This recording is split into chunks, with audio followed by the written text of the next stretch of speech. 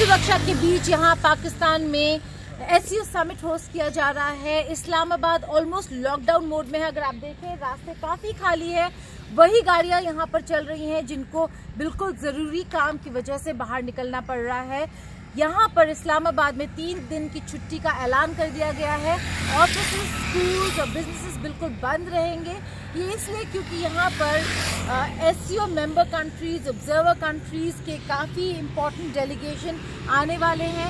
और आज शाम से कल शाम तक इस्लामाबाद ऑलमोस्ट लॉकडाउन सिचुएशन में रहेगा। ये ऐसे वक्त पर भी किया जा रहा है जब हाल फ़िलहाल में आपने देखा कि कुछ चीनी नेशनल्स पर हमला हुआ था।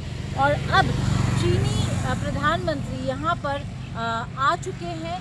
उनके लिए ये एक स्टेट विज़िट है तो बहुत रेयर बहुत इम्पोर्टेंट विज़िट है।